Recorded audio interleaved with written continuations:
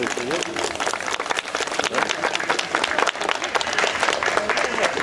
Witam Państwa bardzo serdecznie. E, Bardzo dziękuję za Państwa przybycie. O, jakiś dudni ten. Właśnie się sprzęga. E, Panie Marku, proszę. Raz, dwa, trzy. Raz, dwa, trzy. Raz, dwa. Teraz słychać? E, Dziękuję za Państwa przybycie i mm, za cierpliwość. Przepraszamy za opóźnienie dzisiejszego spotkania. Jeszcze nie bardzo.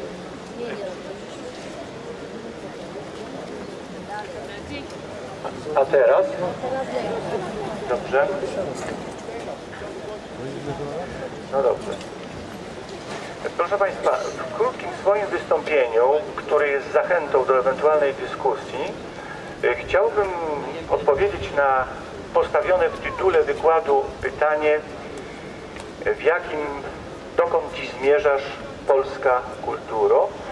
Oczywiście w tak skromnych ramach, jak tutaj to jest możliwe, chciałbym zarysować diagnozę obecnego stanu tej kultury, a mówiąc ściślej, chciałbym określić rodzaj choroby, jaka tę polską kulturę dzisiaj.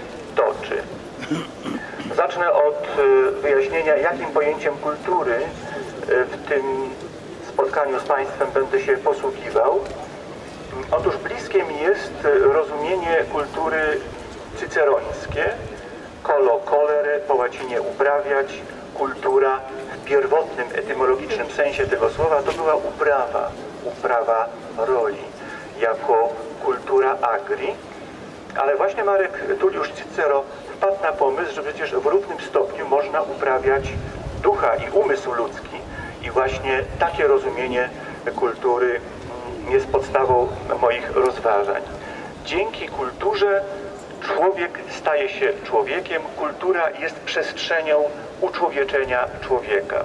Człowieka jako jednostki, a także człowieka jako zbiorowości, jako wspólnoty narodowej. E, W swoim słynnym wystąpieniu Jan Paweł II e, w czerwcu 1980 roku w Paryżu w UNESCO e, powiedział, że naród żyje z kultury i dla kultury. To oznacza, że zarówno człowiek jako jednostka, jak też narodowa wspólnota rodzi się właśnie z kultury. Ludzie interioryzują, biorą w siebie dorobek minionych wieków, stają się tym, kim są. To stanowi o ich tożsamości, o ich specyfice. I to stanowi właśnie ten dorobek kulturowy o tym, że przekazywany z pokolenia na pokolenie po wiekach wspólnota narodowa, choć nieco inna, jednak rozpoznaje się jako ciągle ta sama. Czyli naród żyje z kultury, ale, jak mówi Jan Paweł II, naród żyje również dla kultury. To znaczy my wszyscy razem wzbogacamy tę kulturę, tworzymy, pomnażamy jej dobra. I chciałem teraz y, zwrócić uwagę Państwa na to, że właściwie Polska w tym momencie, kiedy została wykreślona z mapy Europy, kiedy przeżywaliśmy przez blisko półtora wieku katastrofę polityczną, naród ocalał. Ocalał, choć skazany na unicestwienie przez zaborców, to ocalał dzięki właśnie kulturze. Dzięki Chopinowi, Norwidowi, Mickiewiczowi, Słowackiemu i wielu innych wielkich twórców naszej narodowej kultury. I teraz, jak to się dzisiaj dzieje z tą kulturą w Polsce Anno Domini 2011? Przyjrzyjmy się podstawowej, fundamentalnej instytucji kultury, jaką jest polska szkoła.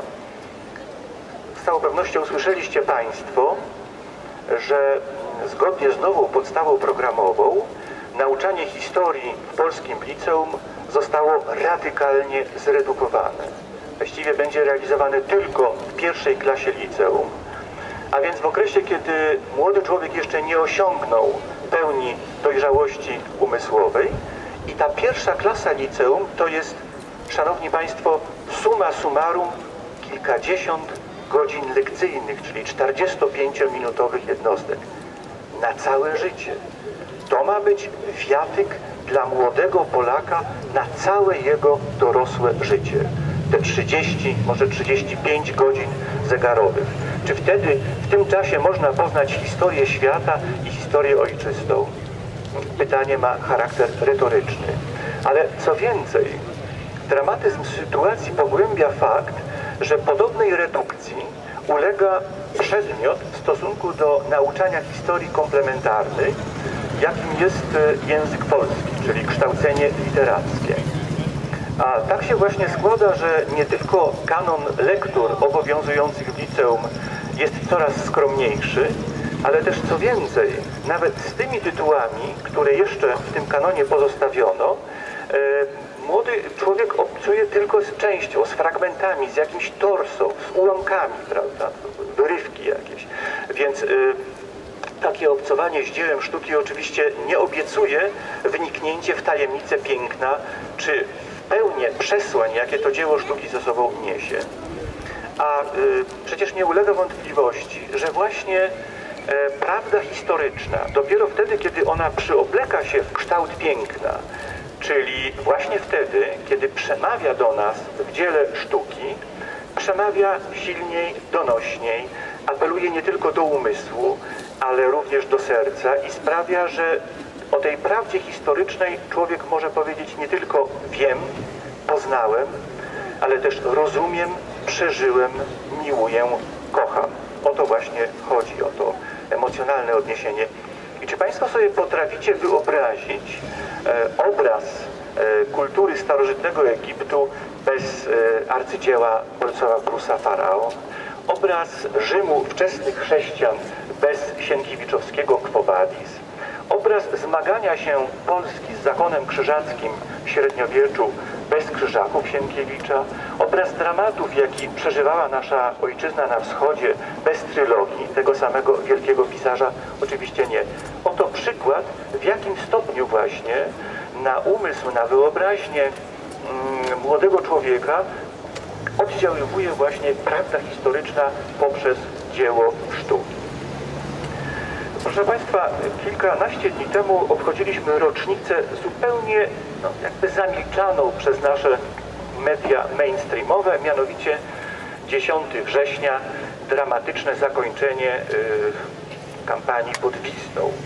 Władysław Raginis, heroiczny obrońca tego odcinka, przy czym y, proporcja między siłami polskimi, kilka tysięcy żołnierzy, 40 kilka tysięcy po stronie niemieckiej była zupełnie miażdżąca, a jednak 10 dni trwała ta heroiczna walka, zakończona honorowym odebraniem sobie życia przez Władysława Raginisa. Proszę Państwa, czy tego rodzaju postawa jest możliwa bez odniesień do przeszłości kultury europejskiej i kultury polskiej? Bez tej postawy którą właściwie e, wykreował w dziedzinie etosu żołnierskiego, miłości ojczyzny, starożytny poeta, śpiewak e, Tyrtaios. Bez tej mm, koncepcji właśnie pięknej, wyrażonej jednym wersem pieśni Horacego Dulce et decorum est pro patria mori. Rzeczą słodką i godną jest oddać życie dla ojczyzny bez wielu, wielu innych późniejszych arcydzieł, właśnie gloryfikujących cnoty rycerskie, wojenne, y, dzielność, waleczność, ofiarność dla ojczystej sprawy, no chociażby taka, mm, takie arcydzieło jak pieśń o Rolandzie, czy chociażby wielka pieśń Homera o walkach pod Troją. To jest ten cały kapitał y, kultury, który stanowi o postawie jakiegoś żołnierza, który 10 dni broni, tak jak kiedyś Leonidas pod Termopile e, broni odcinka ważnego w polskiej kampanii wrześniowej. Bez kontekstu kulturowego, bez historii, która głosi swoje prawdy przyobleczona w kształt piękna, postawa Władysława Raginisa jest nieracjonalna, jest niezrozumiała, nie daje się wyobrazić. Proszę Państwa, rok rocznie uczestniczę rocznicy wybuchu Powstania Warszawskiego, 1 sierpnia, Powązki, obserwuję apel poległych przy pomniku batalionu Zośka o godzinie 16, potem Gloria Victis o godzinie 17. No i już zmęczony, wychodząc z tych uroczystości, przysiadłem na ławce w głównej alejce. Nagle widzę, że koło mnie stoi żołnierz. Bardzo wiekowy. Mówię, proszę bardzo, niech pan spocznie, ja panu ustępuję miejsce. A nie, nie, wie pan, ja jestem żołnierzem, ja mam dopiero 93 lata, no to pozwoli pan, że postoję. A ja mówię, a ja panu wydaję rozkaz, żeby pan usiadł na tej ławce. No to ja posłucham tego rozkazu. Przysiadź się, rozmawiamy. 15-20 minut. Kto to jest? 93 lata. Bohater kampanii wrześniowej. Ranny. Ciągnął na odsiecz Warszawy. Potem pod ziemię. Powstanie warszawskie. Rozmawiamy. Ja mówię, a gdzie pan mieszka? A no wie pan, na Wiktoro, ale ja sobie autobusem. Ja mówię, nie, nie, wie pan, to my zawieziemy pana samochodem. Korek był, bo to tam tych powązek dużo samochodów jechało, więc sporo czasu. I o czym on mówi?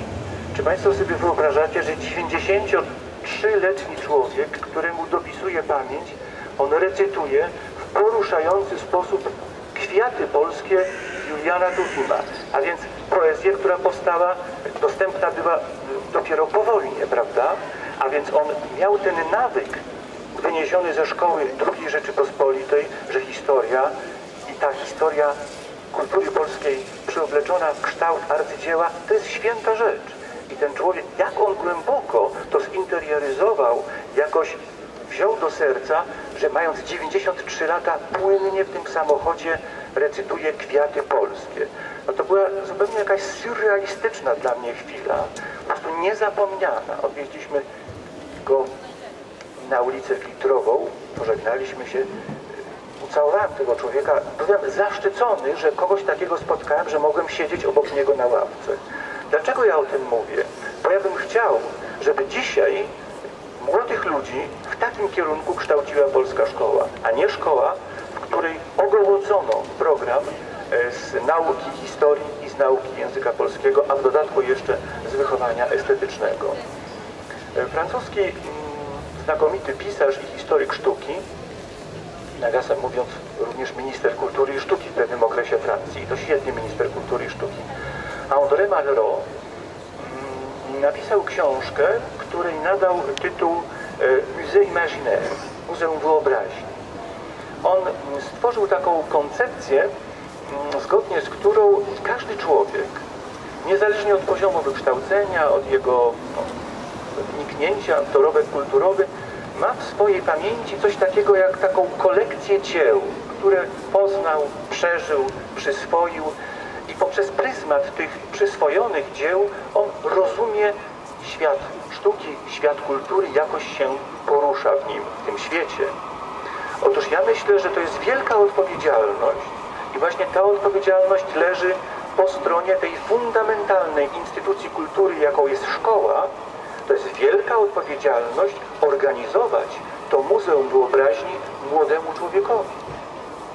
A więc nie tylko jakie dzieła tam wprowadzamy, jakie fakty, jakie dane z dziedzictwa kultury, ale też ile tego jest, prawda? Ile tego jest, jaki jest jego wiatyk, to wyposażenie, e, z którym on przejdzie przez całe swoje dorosłe życie, będzie je oczywiście pomnażał, wzbogacał, uzupełniał, ale to, co w młodości poznane, przyswojone, przeżyte, pokochane, to stanowić będzie o tym, kim on jest i jaki rodzaj więzi on będzie czuł z tą wspólnotą społeczną, narodową, której jest członkiem, której ma zaszczyt być członkiem. Był też taki pisarz, świetny profesor, humanista, e, kilku wybitnych uniwersytetów w Stanach Zjednoczonych, Alan Bloom. On napisał taką książkę dostępną w języku polskim, Umysł Zamknięty, której dał znamienny tytuł o tym, jak amerykańskie szkolnictwo zubożyło duszę młodych studentów. Otóż ja myślę, że to jest książka, która co prawda odnosi się do realiów amerykańskich, ale w równym stopniu mogłaby stanowić akt oskarżenia e, tej operacji, którą dokonuje się dzisiaj na polskim szkolnictwie, nie tylko średnim, ale i tym wyższym, bo mianowicie Alan Bloom najkrócej przesłanie jego książki można mm, wyrazić w ten sposób, że on ubolewa nad tym, że przez 3000 y, lat swojej kultury y, Europa właściwie mm, umożliwiała taki kontakt y, kolejnego pokolenia z tak zwanym zespołem wielkich ksiąg, czyli krótko mówiąc zespołem arcydzieł, takich kanonicznych, podstawowych, bez których nie można poruszać się po przeszłości, bez których nie można zrozumieć przeszłości, poznać przeszłości, a jak się nie rozumie i nie zna przeszłości, to nie wie się, kim się jest. To nie rozpoznaje się. Nie wie się też, kim się może być, kim się powinno być, bo to poznanie przeszłości, tak jak poznał przeszłość Władysław Raginis, też tworzy pewne wzorce, postawy moralne, działa wychowawczo. Otóż mianowicie y, Alan Bloom mówi, że bez tego y, kontaktu z wielkimi y, księgami, no tu Homer, tu Dante, tu Szekspir, po prostu symbolicznie tylko wymienia pewne tytuły, to po prostu ta wielka rozmowa, której, która jest istotą kultury tych, którzy są z tymi, którzy byli, raptem się urywa i szkoła czy też uczelnia hoduje może wybitnego specjalistę w swojej dziedzinie, ale jednocześnie barbarzyńcę w ogrodzie kultury. Otóż ja bym nie chciał, ażeby polska szkoła hodowała nam barbarzyńców w ogrodzie kultury, jeżeli można ocierać się o aluzję do pięknego eseju z historii sztuki dawnej e, Zbigniewa Herberta. Tak się składa, że książka mm, Aldusa Huxleya Nowy Wspaniały Świat, którą on wydał w 1932 roku, książka, która zarysowuje pewien utopijny kształt ludzkości za 500 lat, od tamtego czasu licząc, e, w której to mm, społeczności mamy do czynienia z ludźmi, którym całkowicie amputowano pamięć.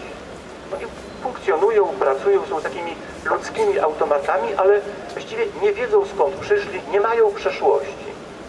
Ale, mili Państwo, znamienną rzeczą, że tym egzemplum amputacji pamięci jest nazwisko jednego wielkiego artysty, Szekspira. A więc oni nie tylko nie znają prawdy historycznej, ale też nawet nie znają historii przyobleczonej w kształt piękna. I to jest najgorsze. Właśnie nie, nie znają historii głoszonej przez dzieła sztuki. To jest przykład utopii, którą przewidywał Huxley za pięć wieków. Ale obawiam się, że tego rodzaju utopia realizuje się bardzo szybko no, obok nas, w umysłach młodych ludzi, których polska szkoła na mocy decyzji Ministerstwa Edukacji Narodowej chce ogołocić z tej pamięci z prawdy historycznej i z prawdy historycznej przyobleczonej w kształt piękna. E, pani minister Hall, mm, argumentując e, intencje tego rodzaju operacji reformatorskiej na treściach kształcenia polskiej młodzieży, mówiła, że celem ich jest e, stworzenie takiego otwartego patriotyzmu obywatelskiego. Otóż już nie mówi się jednym słowem patriotyzm, bo wtedy wiadomo o co chodzi, tylko obudowuje się to słowo dwoma dziwnymi przymiotnikami. No a tego rodzaju zabieg językowy zawsze neutralizuje istotę tego słowa, które samotnie jednak znaczy to, co znaczy. No bo jak Państwo wcześniej mieli pojęcie demokracji socjalistycznej, to wiadomo, że nie była to żadna demokracja. Jeżeli mówiło się o moralności socjalistycznej, to wiadomo, że nie była to żadna moralność. A jeżeli mówimy o otwartym patriotyzmie obywatelskim, to wiadomo, że to jest jakiś patriotyzm, ale żaden porządny patriotyzm. Wspaniały wychowawca kilku pokoleń Polaków, a przede wszystkim tego pokolenia, które w czasie wojny ratowało honor naszej ojczyzny i poszło do powstania, Aleksander Kamiński, późnych latach swego życia, pisząc wspomnienia, mówi, że chłonąłem historię, kochałem historię. I on tej miłości do historii nauczył właśnie swoich wychowanków. Proszę Państwa, proszę zwrócić uwagę, że jeśli czytamy na przykład książki z czasu wojny i śledzimy losy młodzieży zaangażowanej w szare szeregi, czy później w grupy szturmowe, wcześniej w akcję małego sabotażu, to widzimy, że tam jest niezwykły kult rocznic, ważnych polskich rocznic. Wtedy właśnie, no, taki dni jak 3 maja, 15 lipca, Grunwald, 15 sierpnia, e, Wiktoria, Cud nad Wisłą, czy 11 listopada, w te wielkie rocznice e, celebrowane e, w, przez młodzież e, czasu okupacji składa się przysięgi, a to na harcmistrza, a to na podporucznika e, w tajnej szkole podoficerskiej Agricola. E, Jest takie wspaniałe przemówienie, które wygłosił Józef Piłsudski w 1920 roku do weteranów powstania styczniowego, a jednocześnie członków kapituły Orderu Virtuti Militari. I on to przemówienie wygłosił 22 stycznia, czyli w rocznicę wybuchu Powstania Styczniowego i na wstępie tego fenomenalnie pod względem retorycznym skonstruowanego przemówienia mówi panowie, ja tę datę specjalnie właśnie jakoś wybrałem, ponieważ ona ma e, budować w nas odniesienie do wszystkich czynów zbrojnych poprzednich wieków, które mają być dla nas wzorem, źródłem inspiracji właśnie, no, budowania takiego etosu. Proszę Państwa, kult dla rocznicy historycznej, dla tego sakralnego momentu, w którym dzisiejsi Polacy kłaniają się cieniom wielkich Polaków przeszłości, dziękując im za to, co czynili dla późniejszych pokoleń. I kompletne odwrócenie, taka właściwie zapaść aksjologiczna, mianowicie odniesienie się do rocznic w III Rzeczpospolitej. Ja chcę Państwu dać kilka przykładów. Rok 2010, 15 lipca, 600. rocznica bitwy pod Grunwaldem. Co się wtedy w Warszawie dzieje? Robi się święto homoseksualizmu, tak zwaną Love Parade, po to, żeby przykryć rocznicę wielkiej, wspaniałej, no, europejskiej rangi polskiej wiktorii. Szyderstwo w wymiarze patriotycznym. A jeszcze 100 lat wcześniej, kiedy Polski nie było na mapie, wielki polski pianista za własne pieniądze zbudował w Krakowie pomnik grunwaldzki. Uroczyście wtedy go odsłaniano. To było święto narodowe, odsłonięcie tego pomnika. Mamy teraz ojczyznę i plugawimy to święto narodowe. 15 sierpnia szyderstwo w wymiarze religijnym, ponieważ jest to również święto religijne Matki Bożej i co my mamy w Warszawie? Celebrowanie przywiędłej gwiazdki o prowokacyjnym imieniu Madonna i szyderstwo w wymiarze patriotycznym, akurat otwarcie pomnika na cześć najeźdźców bolszewickich. To jest szyderstwo. Proszę Państwa, e, człowiek, który może być symbolem tego rodzaju mm, poniewierania pamięci historycznej, Kuba Wojewódzki mówi tak, nie godzę się na egzaltację polskością. Obchody polskich świąt to okazje, podczas których spoceni faceci opowiadają o swoich bliznach, szablach i dziadkach powstańców. Proszę Państwa, gdyby to mówił jakiś człowiek niespełna rozumu, o tu w kawiarni, jego sprawa. Ale jeżeli te słowa są nagłaśniane przez wszystkie media i pokazywane nam przed oczy jako wzór, to jest dzisiaj postawa, no to to jest, obraża nas wszystkich, niewątpliwie. Również y, pan wojewódzki wsławił się tym, że poniewiera święte symbole. Swego czasu nurzał flagę naszą narodową e, w ekskrementach psich. Co ciekawe, że prokurator, który rozpatrywał sprawę pierwszej instancji, powiedział, że on nie może rozpoznać, czy ten przedmiot, który nurzał w ekstramentach psich pan wojewódzki w programie telewizyjnym na oczach milionowej widowni, to jest rzeczywiście polska flaga, czy nie. Otóż ja się czuję bardzo źle, gdy wysoki funkcjonariusz wymiaru sprawiedliwości bardzo ważnej instytucji w strukturze państwa nie rozpoznaje naszej flagi narodowej. Ja się czuję wtedy źle i czuję się zasmucony i zaniepokojony.